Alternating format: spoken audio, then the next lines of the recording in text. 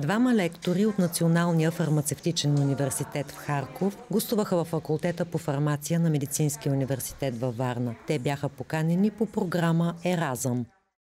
Гостуват ни двама преподаватели, доцент от катедра фармакогнозия и завеждащи катедра фармацевтична химия и фармацевтичен анализ, професор Гергиянц и съответно доцент Стремухов от фармакогнозията. Лекциите са свързани с тематика, която интересува и нашите студенти. Те са част даже от учебния материал, така, големи сходства в учебните материали между двата университета. Э, Това е много важно сътрудничество. Нашите отношения започнаха през 2014 година. Тогава се запознахме с идването ни във вашия университет, тясно си сътрудничим, работим по обмяната на студенти и преподаватели.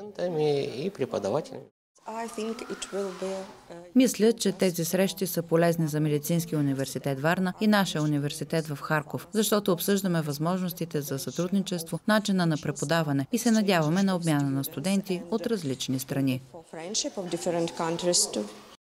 Надяваме се, както за тях, така и за нас да има голяма полза и за бъдеще и да затвърдим и съответно да увеличим сътрудничеството.